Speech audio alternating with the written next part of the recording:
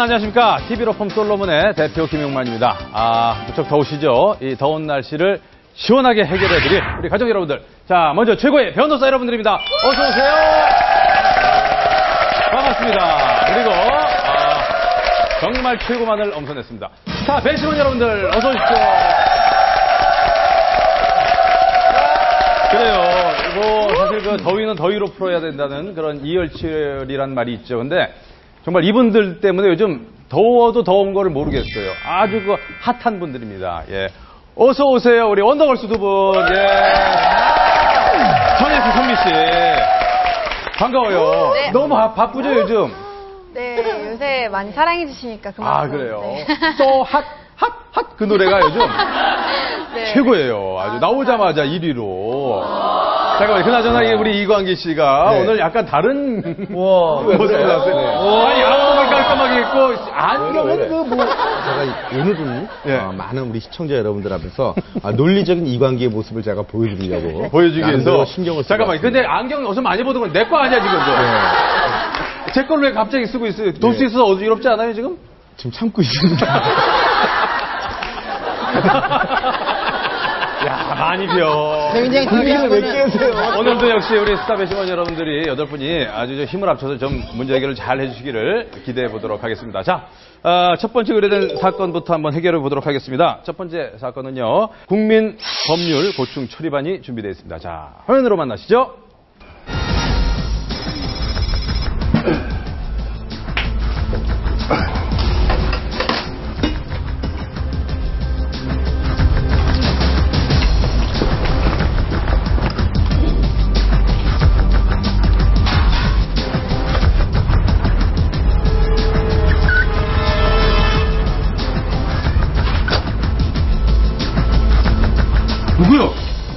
안영진 씨 맞습니까? 예. 아, 누구요? 당신을 절도 용의자로 체포하겠습니다. 예? 예? 아니, 이게 무슨 소리예요? 절도죄라니요? 아니, 제가 무슨 잘못을 했어요? 아니, 아니, 절도죄라니요? 무고해 보이는 노인 도대체 어떻게 된 일일까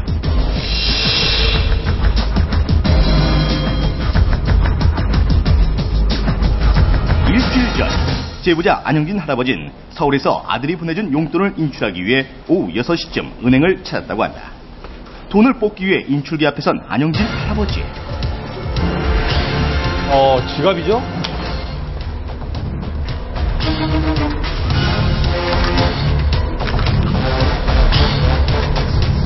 혹시나 나쁜 마음을 먹은 사람이 지갑을 가져가 버리진 않을까 싶어 챙겨 나갔는데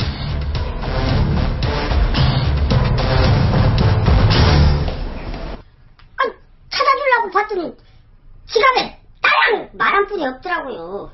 뭐냐, 그 신분증도 없고 아무것도 없어.